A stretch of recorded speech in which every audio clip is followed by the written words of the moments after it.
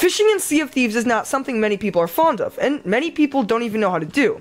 But if you clicked in this video, then something must have intrigued you to want to fish. Maybe it was the Hunter's Call, the awesome ship set, the title, the legendary Hunter of the Sea of Thieves, or maybe none of it.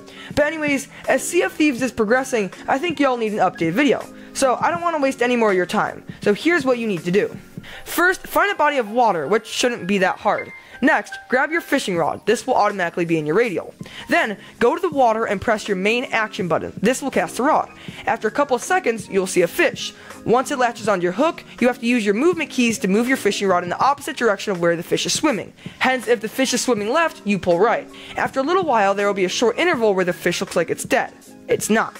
But it is your time to reel it in. Do this by holding your action button. For PC, it's left click.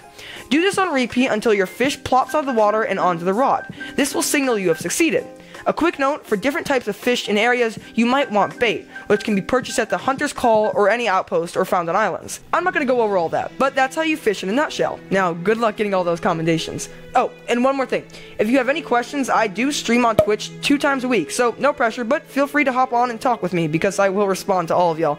And I normally only have like one person watching, so I will totally respond. Anyway, thanks, I hope you enjoyed, and I really hope this helped. Peace out.